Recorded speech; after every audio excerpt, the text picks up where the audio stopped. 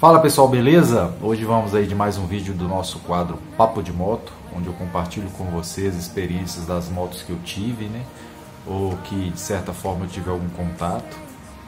E a moto de hoje que nós vamos falar é da CB500X, uma moto que eu gostei muito. Eu comprei ela zero e foi a primeira moto assim de uma cilindrada maior, né? Que eu, que eu tive. Uma moto aí de 500 cilindradas. Trata-se de uma crossover, né, que o pessoal fala, que é um, é um, é um, é um estilo misto aí de moto que é mais voltada pra, para o asfalto, mas que tem alguma certa aptidão aí também para a estrada de terra, né, chão batido, devido ao fato de ter uma altura maior, suspensões, etc. E aí, galera, a primeira coisa que eu fiz, né, coloquei protetores nela, né, coloquei protetor da carenagem, afastador de alforge, comprei alguns alforjes também, né, algumas viagens maiores que eu fiz, com a minha esposa. E uma, uma viagem que me marcou com ela foi o, a Transpantaneira que eu fiz, né? Fica no, no Mato Grosso. E aí a primeira dificuldade que eu tive foi de ter que colocar um pneu mais off-road, né? Para ela, porque a, o, o, aro dela é 17 na dianteira e na traseira. E esse aro 17 na dianteira, dificilmente a gente encontra um pneu mais off. Eu tive que fazer uma meia adaptação aí, consegui colocar o pneu da frente nela, o pneu mais off, o traseiro da Bros, né? Mas lógico que não recomendo fazer isso, né? Tem, o pneu tem que ter uma certa, né? É, tem a questão da velocidade, de peso, né? Não recomendo.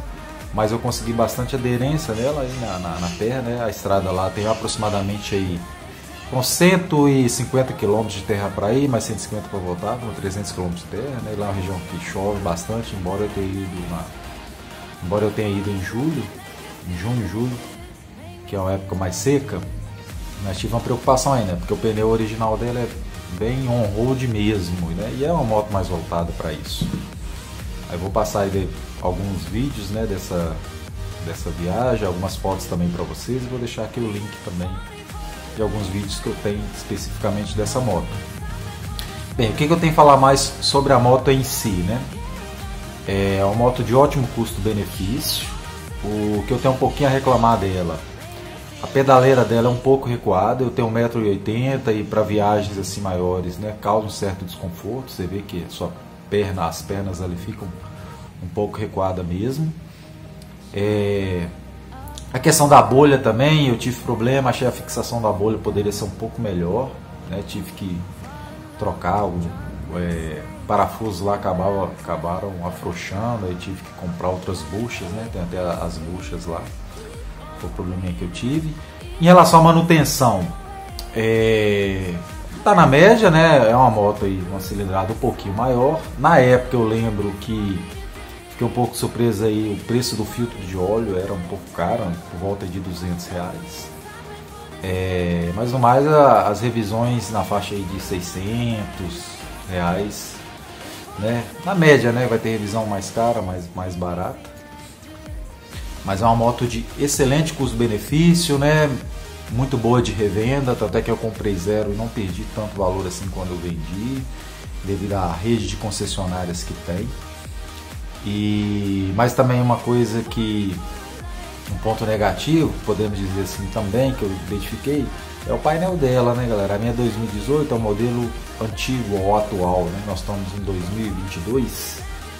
Então é o modelo anterior e o painel dela era assim bem simples, né? Para uma moto de 500 cilindradas, por exemplo, não tinha indicador de marcha, né? Bem simples mesmo, a iluminação dele muito simples para uma moto de 500 cilindradas. Atualmente, né, a atual CB500 já alterou isso, a roda dianteira já era o 19, né, você já tem uma gama maior de opções de pneu né, para trocar, de, de on, mais on, mais off, etc. Ela é um pouquinho mais alta, né, então assim, mudou bastante coisa, mas é, é uma moto e também bastante econômica, tá? Eu fiz a média de 27, né, dependendo da mão ali, até 28 ela consegue fazer. E, então é uma moto assim, que eu gostei muito. A atual geração né, corrigiu bastante falhas da anterior, que era uma moto mais, bem mais simples, né? Questão do painel e algum conforto e tal. Ela já melhorou bastante no modelo atual. E é uma moto que eu compraria novamente e recomendo sim. Então é isso, galera. Só passar para vocês um pouquinho da experiência que eu tive com essa moto, que eu gostei bastante, né? Moto zero, a gente aí tem até um, um cuidado maior que a gente cuida da moto aí desde o início, né? E a ideia foi essa, transmitir para vocês a experiência que eu tive com essa moto, beleza? Valeu!